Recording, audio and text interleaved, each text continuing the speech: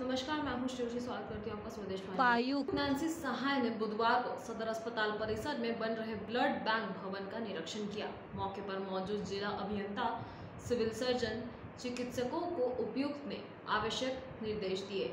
उन्होंने भवन के मुआयना के क्रम में प्रत्युक्त किए गए जाने वाले आवश्यक सामग्रियों की गुणवत्ता की जाँच की।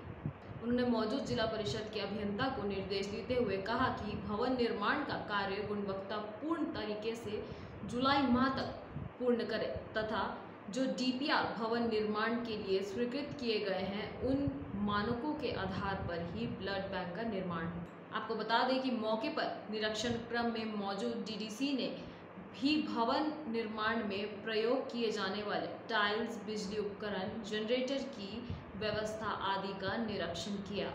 बता दें कि डीएमएफटी मद से निर्माणाधीन तीन मंजिल ब्लड बैंक आधुनिक सुविधाओं से लैस रहेगा। साथ ही ज़िले में ब्लड बैंक की मदद से मरीजों के लिए ब्लड की कमी को पूर्ण करने का सहायता एक ब्लड बैंक की बिल्डिंग बन रही है सदर अस्पताल परिसर में, जिसमें जो कि D M F T fund से जिसको सैंक्शन किया गया है और जी प्लस टू का इसका स्ट्रक्चर है।